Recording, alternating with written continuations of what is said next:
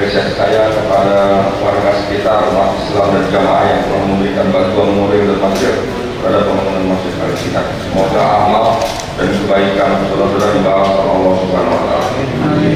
Saya berharap sekali kita berfungsi efektif sebagai agen perubahan sosial sebagaimana layaknya masjid di, di masa Nabi Muhammad SAW yaitu sebagai pusat kegiatan keagamaan, sosial, kegiatan ekonomi dan pemberdayaan masyarakat.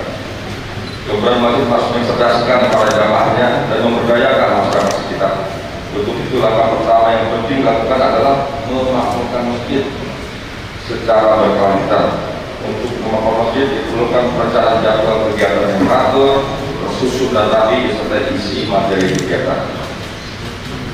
Masjid Jami Asad seyogianya memiliki visi, misi, fungsi yang tepat untuk membina harkat dan martabat jamaah umat Islam di sekitarnya serta menjadi motor penggerak persatuan umat.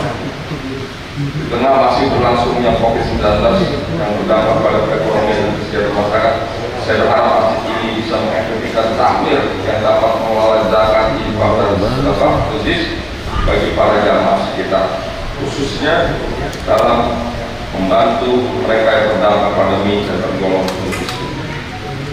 sini perlu ada profesionalisme pengelolaan masjid dari para datul dengan cara yang transparan dan profesional sehingga upaya kepada masyarakat sekitar terpapar. Dengan demikian, masjid dan Asyidat tumbuh dan berkembang sebagai pusat perubahan sosial masyarakat, perekonomian dan kesejahteraan yang lebih baik.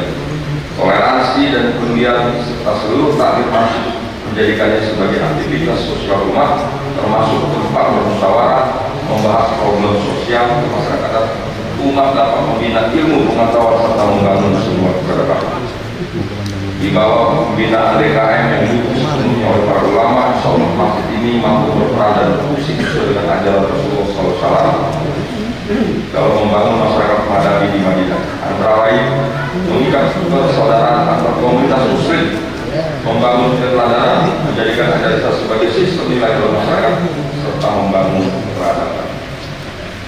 Saya berharap ini bersih, nyaman, asri, ke depan menjadi masjid unggulan baik.